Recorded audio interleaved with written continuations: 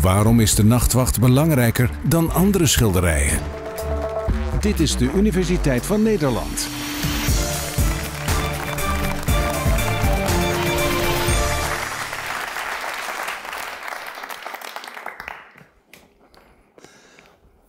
Nou, ik wou jullie nu iets vertellen over het schilderij wat voor mij in ieder geval acht jaar van mijn leven bepalend is geweest.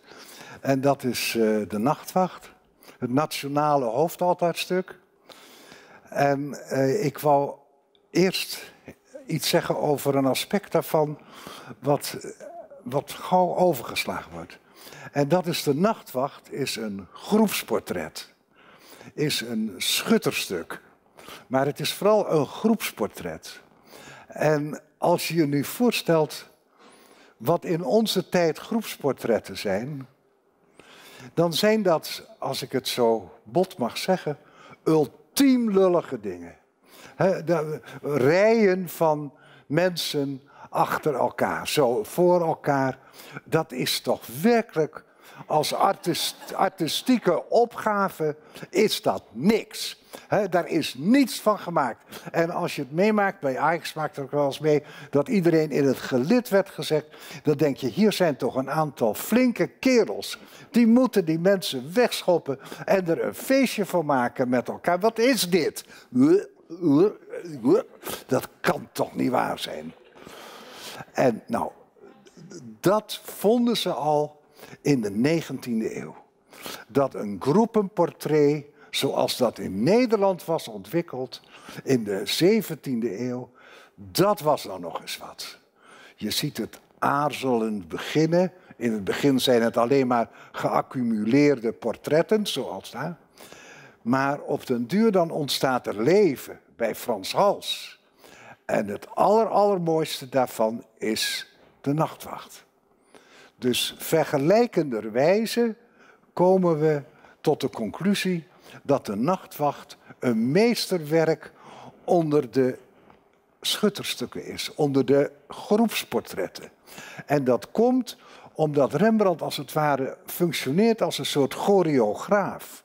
Zie je, die gaat zo vooruit. Er zijn twee figuren helemaal centraal en dan golft de voorstelling weer zo weg.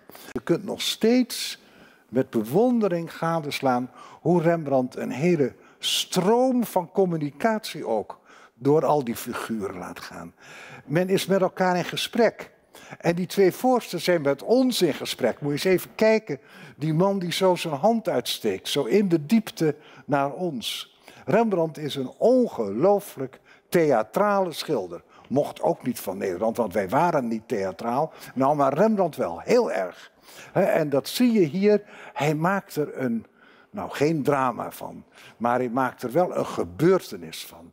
Echt een gebeurtenis hoe alles bij elkaar komt. En die lichtbron van dat meisje, die heeft dan het uh, embleem van de schutters. Ze is de embleemfiguur van de schutter met die uh, vogel daar uh, opgeknoopt aan haar zijde. die geeft een soort licht wat die hele voorstelling doorstraalt. Dat is een, een prachtige vondst. Dus je valt bij de nachtwacht, zelfs als je hem honderd keer hebt gezien, van de ene verbazing in de andere. We kunnen het ook nog hebben over de architectuur, waar die grote architectuur vandaan komt. Je kunt het over ontzettend veel dingen hebben. Maar ik wil er nog één ding van zeggen. Waarom zijn nou schutterstukken zo belangrijk? Omdat schutterijen die werden gezien, en dat waren ze tot op zekere hoogte ook, als de kern van de Nederlandse democratie. Democratie, maar in ieder geval de burgerlijke zelfstandigheid. Burgers die beheersten hun eigen stad, hun eigen areaal. En dat was natuurlijk in het Nederland wat zich losmaakte uit dat hele grote Habsburgrijk een fantastische gebeurtenis. En de schutterij die verdedigt die verworven zelfstandigheid, die verworven vrijheid. En eh, je kunt ook zeggen, de schutterij is een soort militaire Rotary Club. Was het ook. Hè? Maar laten wij nu even zeggen, het was ook ja, een soort garantie voor onze Nederlandse vrijheid ten opzichte van eh, die grote rijken als de Habsburgers en het Franse Koninkrijk. Dat maakt een schutterstuk historisch gesproken ook uh, zo belangrijk. En nu moet ik nog iets zeggen. Waarom is Rembrandt eigenlijk zo groot geworden? Want in 1820 was in Nederland een schilder als Van der Helst veel populairder dan Rembrandt. Hoe komt dat zo? En dat komt eigenlijk door iets heel eigenaardigs. In 1831 hebben de Belgen bedacht dat ze zonder ons wilden. Dat is een gedachte die ik laat voor wat die is. Maar in elk geval, ze dachten dat ze zonder ons konden. En ze hebben daar ook een beetje oorlog over gevoerd. En Van Spijk, ook wij, daar zijn even heel druk aan bezig geweest. En er was iets wat we niet zo gauw bedenken. Maar toen België apart was gegaan, toen waren wij ook onze nationale kunstenaar kwijt. Want van dat Koninkrijk Nederland was Rubens de nationale kunstenaar. Van ons allemaal. En er stond nu een prachtig mooi bronzen beeld van, eh, van, uh, van Rubens in Antwerpen. En dat was ook van heel Nederland. Rubens kwam uit Antwerpen. En wij hadden dus gebrek aan een nationale kunstenaar. En toen waren er in Nederland een club van, laten we zeggen, intellectuele, culturele helden, schilders, uh, kunstenaars van allerlei slag en soort, uh, voorname burgerij, die met elkaar bedachten, Rembrandt moet het zijn. Want bij de vorsten in Duitsland en bij de rijke verzamelaars in Engeland, daar was Rembrandt zo populair. Dus toen werd vervolgens Rembrandt opgeklopt tot onze nationale kunstenaar. En weet je wat daar het eerste symptoom van is? Het Rembrandtplein. We zitten er bijna op. Het Rembrandtplein is het eerste symptoom van de Rembrandt-verering in Nederland. En er stond ook een groot beeld, net zo groot als het bronzen beeld van, uh, uh, van Rubens in uh, Antwerpen. Maar dit beeld was, Nederlanders zijn zuinig, van gietijzer eigenlijk, dat beeld wat er staat. En het tweede symptoom van de Rembrandt-verering, dat is het Rijksmuseum. Dat is het Rijksmuseum zelf. En dat is die structuur die Kuipers daaraan heeft gegeven. Kuipers heeft een gebouw bedacht wat helemaal van een combinatie van Frans paleis, Nederlandse detaillering en vooral kathedraal. Want de eregalerij en de nachtwachtzaal, dat is een kathedraal. En zo zag het eruit toen het af was bij Kuipers. Moet je eens kijken. En dat had een kathedraal had één hoofdalterstuk en dat was de nachtwacht.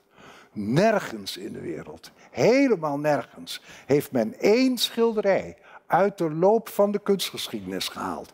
En dat zo neergepleurd dat hoe je het ook kijkt, keert of vendt, als je in het Rijksmuseum komt, dan kun je de nachtwacht niet missen. Dat is ons nationaal hoofdalterstuk. En toen Kuipers dit maakte, had hij al 90 kerken gebouwd, van die neogotische kerken. Dus hij wist precies hoe mooi je dat allemaal moest organiseren met kapellen en met doorgangen en alles. Dat is het. Dat is toch inderdaad, ik vind het nog steeds verbijsterend. Willem III die weigerde het Rijksmuseum te openen. Dat vond hij een paaps paleis. dat was het ook inderdaad, zou ik kunnen zeggen. Dus hij weigerde het te openen. En ik kan jullie zeggen dat al mijn voorgangers vanaf die tijd in het Rijksmuseum, die hadden gigantische schurft aan Kuipers, de neogotiek en alles wat maar te maken had eh, met, eh, met waar we nu over hebben. Dat is wel gek om te bedenken, nu dat gerenoveerd is in zijn vrijwel oorspronkelijke staat. Jammer genoeg zonder die gordijnen, dus die akoestiek is nog steeds niks. Maar hoe dan ook, uh, kijk, daar, dat is dus gerenoveerd. En ik zou je vertellen dat mijn voorgangers, die zouden zich in hun graven omdraaien. want die hadden er zo de pest aan, dat na de oorlog, meteen na de oorlog, volgende plaatje, Kijk eens, dit is de eregalerij. Werd volkomen in modernistische trant, helemaal wit gemaakt, gordijnen eruit, naar beneden. Uh, En in plaats van dat daar de grote werken van de Nederlandse kunst hangen, hadden ze daar ook graag de buitenlandse scholen opgehangen. Dat is wat. Als zij om weg met Kuipers. Echt weg met dat concept van dat nationalisme. Nationalisme was na de oorlog ook helemaal verkeerd. En maar wij zijn zo nationalistisch geweest. We hebben er nooit kwaad mee gekund, gelukkig. Maar uh, enorm nationalistisch zijn wij. Juist in cultuur. Wij voelen ons zo superieur. Of voelden dan voor mijn part, maar volgens mij nog steeds. Maar hoe dan ook, nu waren we zo trots dat we zo internationaal waren. Dus hup, weg met de boel. En moet je eens kijken, de ingang naar de, ingang naar, uh, de nachtwachtzaal, die is gewoon helemaal dichtgegooid. En dit is de nachtwachtzaal. Dit is de nachtwachtzaal. En de nachtwacht is uit het midden gehangen en naar een zijkant uh, verhuisd. Dus het is gewoon helemaal zo'n modernistische witte doos geworden. En dan ook nog de nachtwacht, die moest gewoon deel worden van de Nederlandse schilderkunst. Dat is toch ongehoord. En toen kwam mijn voorganger Simon Levy en de architect Wim Quist. En die begrepen toch wel dat het historisch toch wel heel raar was om een gebouw zo volkomen in zijn architectonische werking te vernietigen. En toen heeft Wim Quist iets anders bedacht. En dit is de nachtwachtzaal en de eregalerij zoals velen van jullie, althans de ouderen, zich zullen herinneren. Heel mooie blanke ruimte. Ik vond het altijd prachtig hoor. Hele mooie blanke ruimte. Die je zo leidde daar naar de nachtwacht. Prachtig. Alle decoratie bedekt. Niet weg, maar bedekt. Alleen die grote ijzeren eh, traveeën daarboven in stand gehouden. Want gietijzer, waar die traveeën van waren, dat was modern. Dus dat, uh, dat deed je. Zie je, en dan word je naar de nachtwacht geleid. Het is een soort gekalviniseerde kathedraal eigenlijk, hè, wat je hier ziet. En dit is het uitgangspunt geweest voor die rigoureuze verandering die nu feestelijk wordt beleefd door ieder die in dat Rijksmuseum rondloopt. Dus je ziet ook onze smaakverandering is geweldig. En als je directeur bent van zo'n instelling, dan, ja, dan heb je uh, gewoon voornamelijk te zorgen voor de nachtwacht. Dat is de belangrijkste taak. Want als je het schilderij zo ophangt, dan iedereen die zich slecht voelt over de Nederlandse kunst of over de Nederlandse natie, die heeft maar één doel, die nachtwacht beschadigen. Het is volkomen lullig om een ander schilderij dan de nachtwacht in het Rijksmuseum te beschadigen. Dus daar moet je zeker twee supposten hebben, de rest kun je het wat rustig houden. Uh, om te zorgen, hadden één die kan heel goed karate altijd en één die had een douche er stond in de hoek zo'n douche en dan als er chemische beschadiging was, zette hij meteen het schilderij onder de douche. Zo, nou goed. Maar het is toch heel erg misgegaan uh, in 1971. Toen is met een mes een gek, die heeft dat heel erg, heel erg beschadigd. Een langdurige restauratie, maar het werd een publieke restauratie. Iedereen kon meeleven hoe het schilderij als een soort man van smarte leed terwijl het daar heel voorzichtig weer werd uh, hersteld. Volgend plaatje.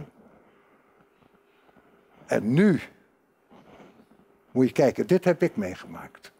Ik was in Boston en toen kreeg ik bericht dat een man met zoutzuur had. Uh, in 1990, 23 april, ik zal het nooit vergeten. En het werkte, het systeem van bewaking, dat we net hadden geïnstalleerd. De persoon met de douche zette het onder de douche. De man met de karate pakte de man dingen. En de, deze beschadiging was in drie weken er weer af, omdat het zo snel opgelost was. Nieuw vernisje erop. En daar hing hij weer. En het is oh, zo'n opluchting. Nou, het was een geweldige ervaring eh, dat het er zo snel weer was. En de koningin kwam, zo nationalistisch zijn we, de koningin kwam om vooral met de twee redders van de nachtwacht te spreken. Het was een ellende, want die jongens die hebben een half jaar buiten hun schoenen gelopen daarna. En als oppasser van de nachtwacht heb je één ervaring dat elke week komt die nachtwacht wel te sprake. Zo eens in de twee maanden was er een bedreiging, maar er waren ook mensen die kaartjes stuurden, uh, brieven schreven, ik weet allemaal niet wat. Maar de allerleukste, die heb ik nog steeds, Met kerstmis kreeg ik deze kaart van een tapijtwever uit Teheran. En die had in strenge afzondering, gedwongen afzondering, een enorm tapijt gewoven, geweefd, gewoven, van de nachtwacht. En hij had zichzelf door zijn vrouw laten fotograferen en hij stuurde mij die foto op. Is dat niet wat? Nou, de nachtwacht is echt een groot avontuur geweest voor mij. Ik hoop voor jullie ook.